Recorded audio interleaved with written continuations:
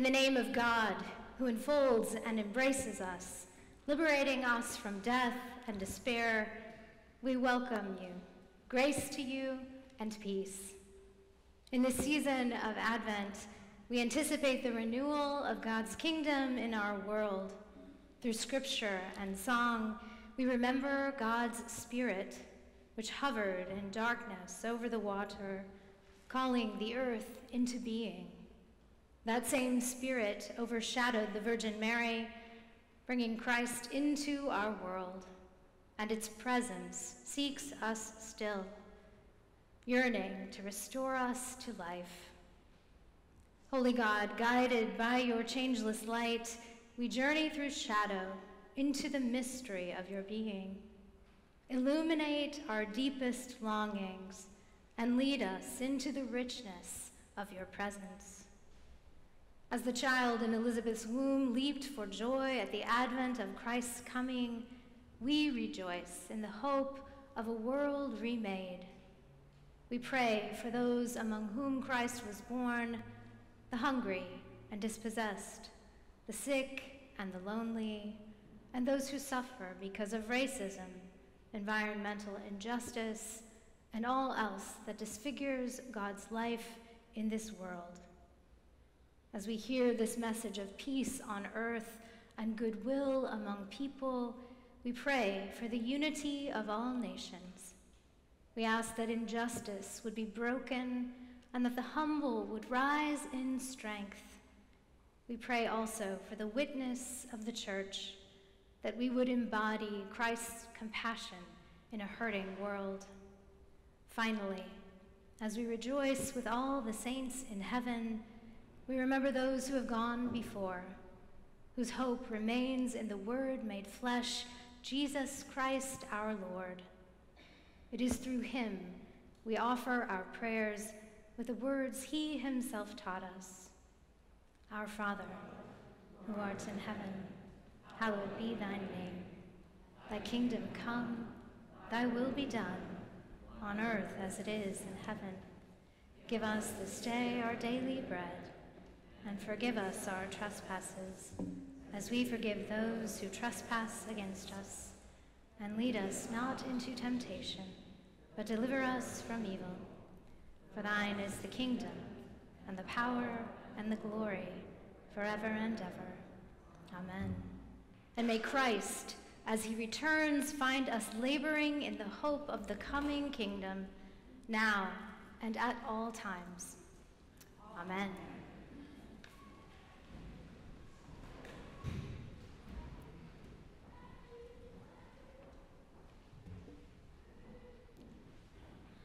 Reading from Genesis. Now the serpent was more crafty than any other wild animal that the Lord God had made. He said to the women, Did God say, You shall not eat from any tree in the garden? The women said to the serpent, We may eat of the fruit of the trees in the garden. But God said, You shall not eat of the fruit of the tree that is in the middle of the garden, nor shall you touch it, or you shall die. But the serpent said to the woman, You will not die, for God knows that when you eat of it, your eyes will be opened, and you will be like God, knowing good and evil. So when the woman saw that the tree was good for food, and that it was a delight to the eyes, and that the tree was to be desired to make one wise, she took of its fruit and ate, and she also gave some to her husband who was with her, and he ate. Then the eyes of both were opened, and they knew that they were naked, and they sewed fig leaves together and made loincloths for themselves. They heard the sound of the Lord God walking in the garden at the time of the evening breeze, and the man and his wife hid themselves from the presence of the Lord God among the trees of the garden. But the Lord God called to the man and said to him, Where are you? He said, I heard the sound of you in the garden, and I was afraid because I was naked, and I hid myself. He said, Who told you that you were naked? Have you eaten from the tree of which I commanded you not to eat? The man said, The woman who you gave to be with me, she gave me the fruit from the tree, and I ate. Then the Lord God said to the woman, What is this you have done? The woman said, The serpent tricked me, and I ate.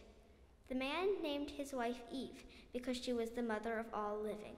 And the Lord God made garments of skins for the man and his wife, and clothed them. Then the Lord God said, See, the man has become like one of us, knowing good and evil. And now he might reach out his hand and take also from the tree of life, and eat and live forever. Here ends the reading.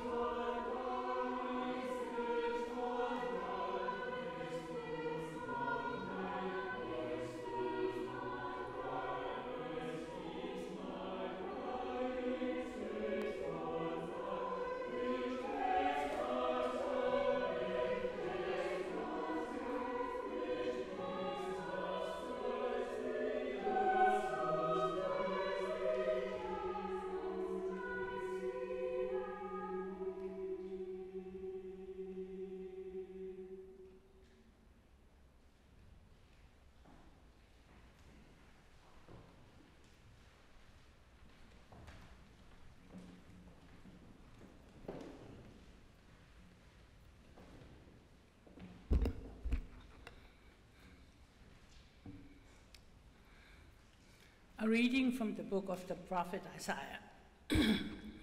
comfort, O comfort my people, says your God.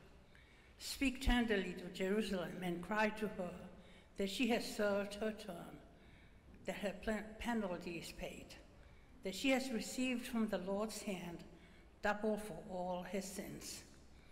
A voice cries out, In the wilderness, prepare the way of the Lord. Make straight in the desert highway for our God.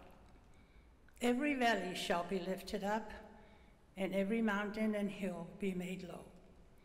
And uneven ground shall become level, and the rough places a plain. Then the glory of the Lord shall be revealed, and all people shall see together, for the mouth of the Lord has spoken. A voice says, Cry out. And I said, What shall I cry? All people are grass. Their constancy is like the flower of the field. The grass withers, the flowers fades, when the breath of the Lord blows upon it. Surely the people are grass. The grass withers, the flower fades, but the word of our God will stand forever. Get you up to high mountain, O Zion, herald of good tidings. Lift up your voice with strength. O Jerusalem, herald of good tidings, lift it up. Do not fear. Say to the cities of Judah, Here is your God. See, the Lord of God comes with might, and his arm rules for him. His reward is with him, and his recompense before him. He will feed his flock like a shepherd. He will gather the lambs in his arms and carry them in his bosom, and gently lead the mother sheep. Here ends the lesson.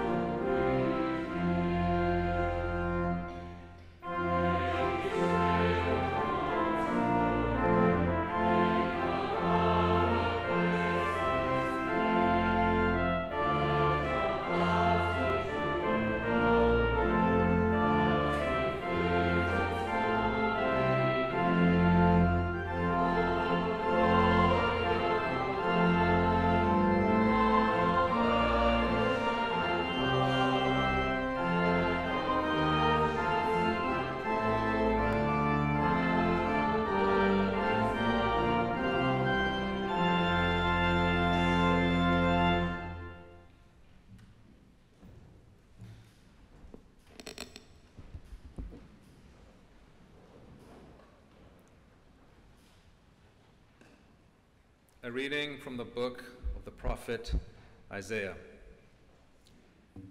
The wilderness and the dry land shall be glad. The desert shall rejoice and blossom. Like the crocus, it shall blossom abundantly and rejoice with glad, with joy and singing. The glory of Lebanon shall be given to it, the majesty of Carmel and Sharon.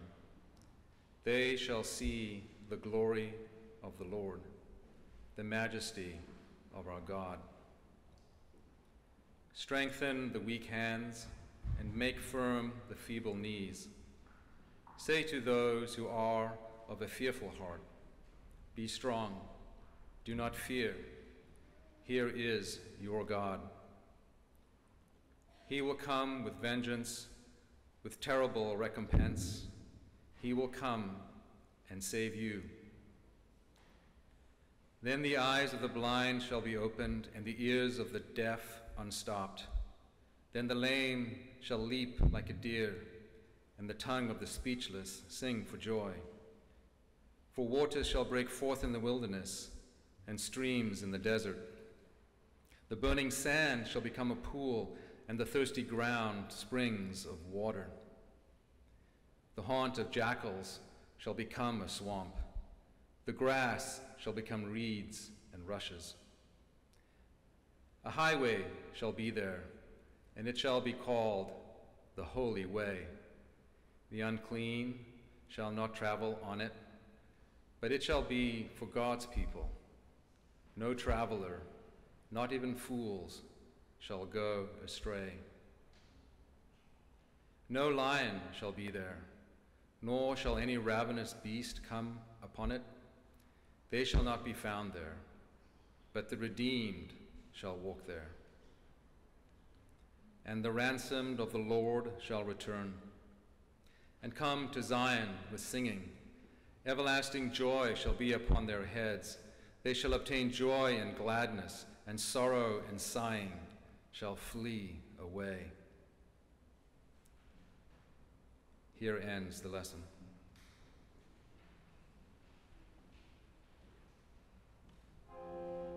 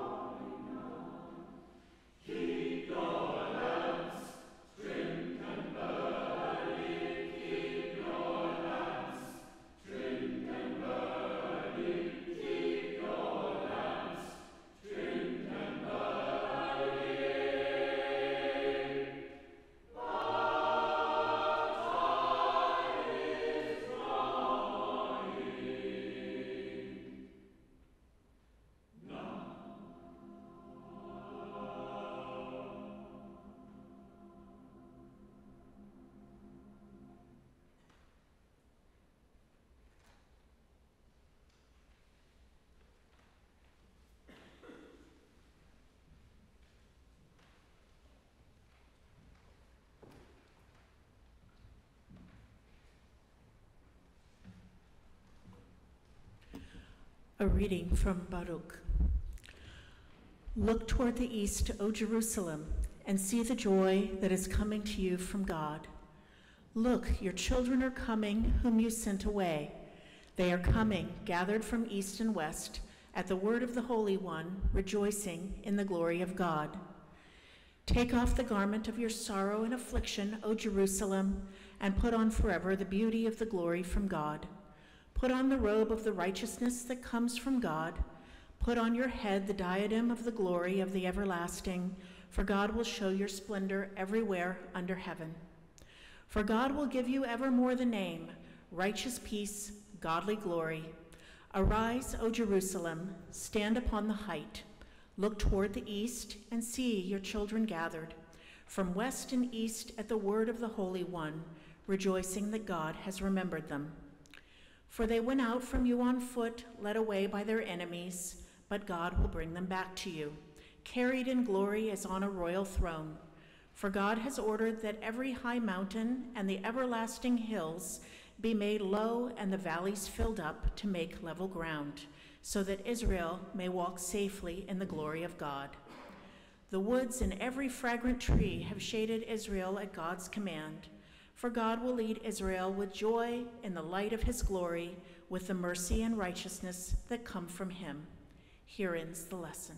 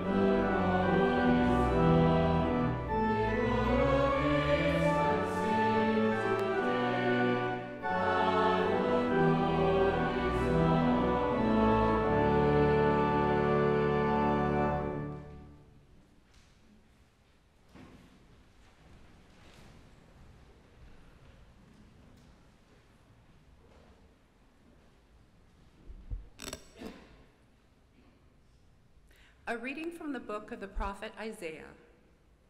A shoot shall come out from the stump of Jesse, and a branch shall grow out of its roots.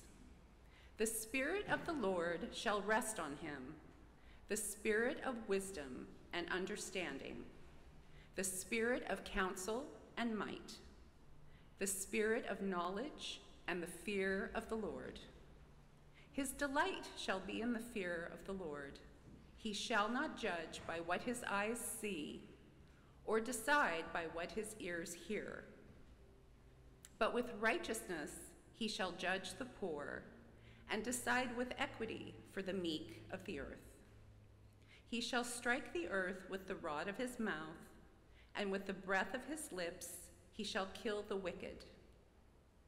Righteousness shall be the belt around his waist, and faithfulness the belt around his loins. The wolf shall live with the lamb, the leopard shall lie down with the kid, the calf and the lion and the fatling together, and a little child shall lead them. The cow and the bear shall graze, their young shall lie down together, and the lion shall eat straw like the ox. The nursing child shall play over the hole of the asp, and the weaned child shall put its hand on the adder's den. They will not hurt or destroy on all my holy mountain, for the earth will be full of the knowledge of the Lord as the waters cover the sea. Here ends the lesson.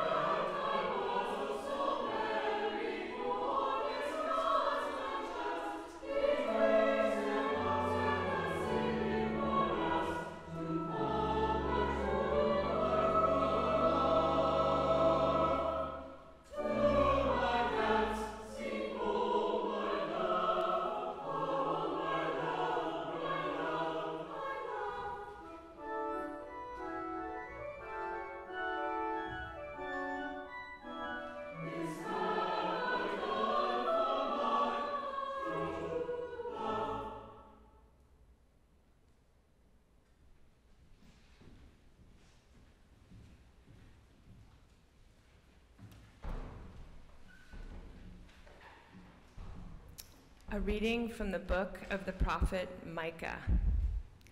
But you, O Bethlehem of Ephrathah, who are one of the little clans of Judah, from you shall come forth for me one who is to rule in Israel, whose origin is from of old, from ancient days.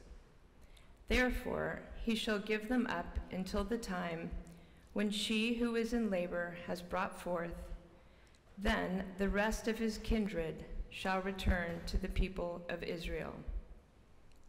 And he shall stand and feed his flock in the strength of the Lord, in the majesty of the name of the Lord his God.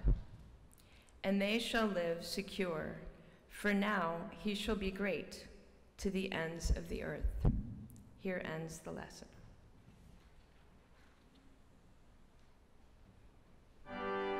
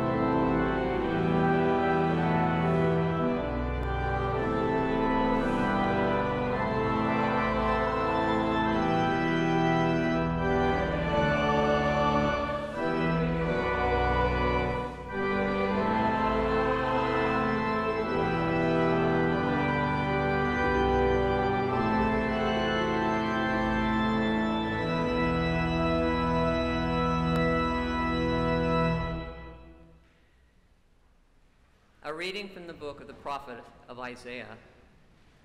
The Lord spoke to Ahaz, saying, Ask a sign of the Lord your God.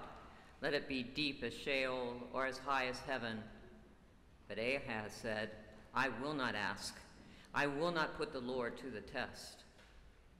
Then Isaiah said, Hear then, O house of David, is it too little for you to weary mortals, that you weary my God also? Therefore, the Lord himself will give you a sign. Look, the young woman is with child and shall bear a son, and shall name him Emmanuel. He shall eat curds and honey by the time he knows how to refuse the evil and choose the good. Here ends the lesson.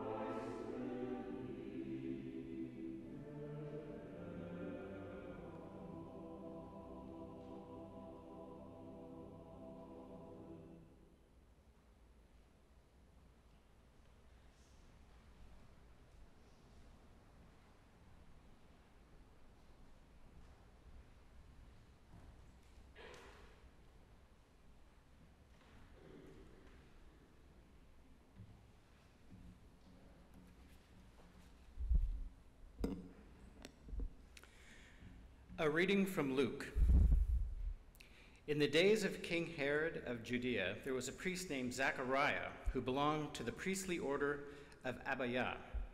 His wife was a descendant of Aaron, and her name was Elizabeth. Both of them were righteous before God, living blamelessly according to all the commandments and regulations of the Lord. But they had no children because Elizabeth was barren, and they were both getting on in years. Once, when he was serving as priest before God and his section was on duty, he was chosen by Lot, according to the custom of the priesthood, to enter the sanctuary of the Lord and offer incense. Now, at the time of the incense offering, the whole assembly of the people was praying outside. Then there appeared to him an angel of the Lord, standing at the right side of the altar of incense.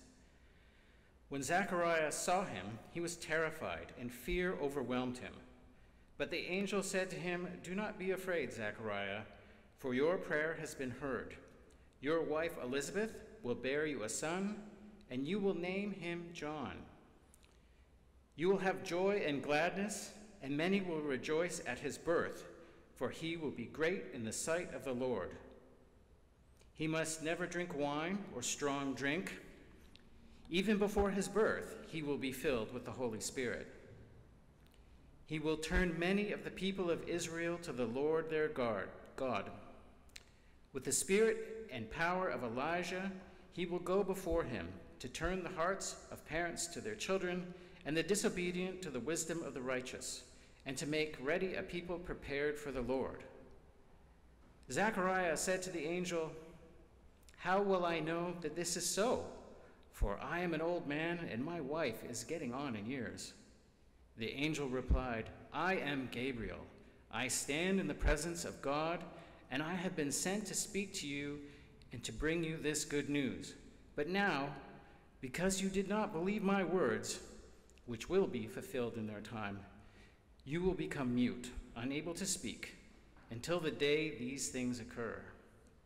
Meanwhile, the people were waiting for Zechariah and wondered at his delay in the sanctuary. When he did come out, he could not speak to them, and they realized that he had seen a vision in the sanctuary. He kept motioning to them and remained unable to speak. When his time of service was ended, he went to his home. After those days, his wife Elizabeth conceived, and for five months she remained in seclusion. She said, This is what the Lord has done for me when he looked favorably on me and took away the, took away the disgrace I have endured among my people. Here ends the lesson.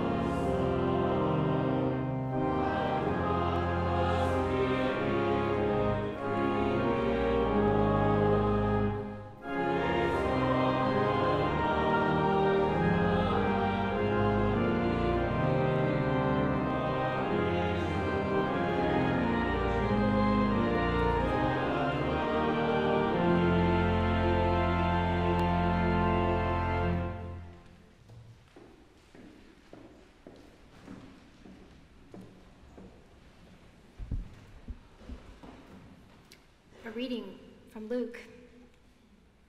In the sixth month, the angel Gabriel was sent by God to a town in Galilee called Nazareth, to a virgin engaged to a man whose name was Joseph, of the house of David. The virgin's name was Mary. And he came to her and said, Greetings, favored one, the Lord is with you. But she was much perplexed by his words and pondered what sort of greeting this might be. The angel said to her, Do not be afraid, Mary, for you have found favor with God. And now you will conceive in your womb and bear a son, and you will name him Jesus. He will be great, and we will be called the Son of the Most High. And the Lord God will give to him the throne of his ancestor David. He will reign over the house of Jacob forever, and of his kingdom there will be no end. Mary said to the angel, How can this be, since I am a virgin? The angel said to her, The Holy Spirit will come upon you, and the power of the Most High will overshadow you. Therefore, the child to be born will be holy. He will be called Son of God. And now, your relative Elizabeth, in her old age, has also conceived a son. And this is the sixth month for her who was said to be barren. For nothing will be impossible with God. Then Mary said, Here am I the servant of the Lord. Let it be with me according to your word. Then the angel departed from her. In those days, Mary set out and went with haste to a Judean town in the hill country, where she entered the house of Zechariah and greeted Elizabeth. When Elizabeth heard Mary's greeting, the child leaped in her womb and Elizabeth was filled with the Holy Spirit and exclaimed with a loud cry, Blessed are you among women, and blessed is the fruit of your womb. And why has this happened to me, that the mother of my Lord comes to me? For as soon as I heard the sound of your greeting, the child in my womb leaped for joy. And blessed is she who believed that there would be a fulfillment of what was spoken to her by the Lord. And Mary said, My soul magnifies the Lord, my spirit rejoices in God my Savior, for he has looked with favor on the lowliness of his servant. Surely from now on all generations will call me blessed. For the mighty one has done great things for me, and holy is his name. His mercy is for those who fear him from generation to generation. He has shown strength with his arm. He has scattered the proud in the thoughts of their hearts. He has brought down the powerful from their thrones and lifted up the lowly. He has filled the hungry with good things and sent the rich away empty.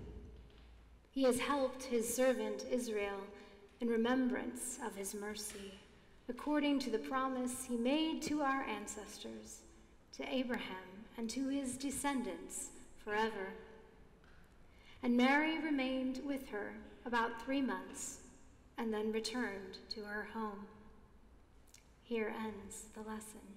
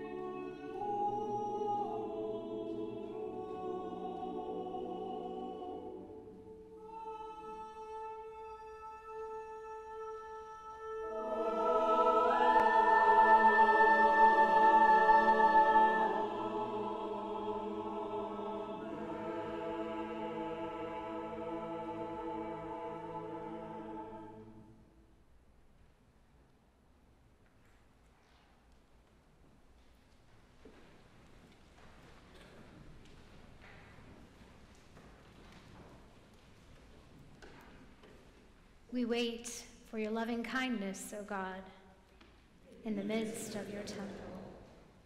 The glory of the Lord shall be revealed, and all flesh shall see it together. Show us your mercy, O Lord, and grant us your salvation. God of promise, you have given us a sign of your love through the gift of Jesus Christ, our Savior, who was promised from ages past. Stir our hearts to recognize God among us and open our souls to receive the one who comes to love your people through Jesus Christ, who lives and reigns with you, one God, now and forever.